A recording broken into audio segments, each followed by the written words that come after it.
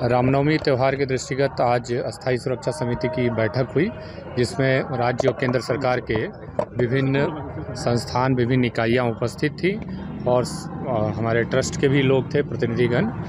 तो समस्त लोगों ने आज विचार करके जो जो हमारे सामने चुनौतियाँ थी, उसके क्या समाधान हो सकते हैं, इसके ऊपर चर्चा की गई और जो पूर्व में कार्रवाई की गई है, उसकी भी समीक्षा की गई।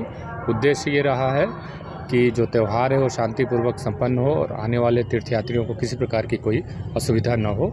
इसके लिए पूरा हमारा शासन का संकल्प है और हम स्थानीय प्रशासन भी इसके लिए सारी तैयारी कर रहा है। रामनवमी पर क्या कुछ बदलाव होंगे सुरक्षा में?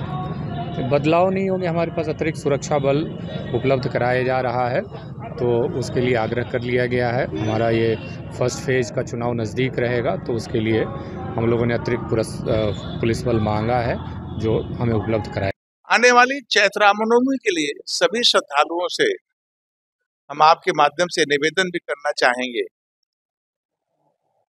सुविधापूर्वक कम समय में दर्शन प्राप्त करना है तो अपने जो मोबाइल हैं जूते हैं चप्पल हैं इसको अपने निवास स्थान पर रख करके आने से उनको शीघ्रता से दर्शन करके वापस आने का अच्छा अवसर प्राप्त हो सकेगा।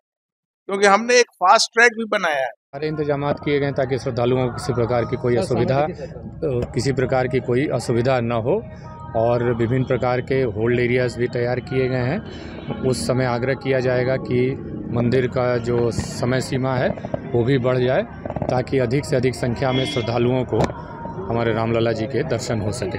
सर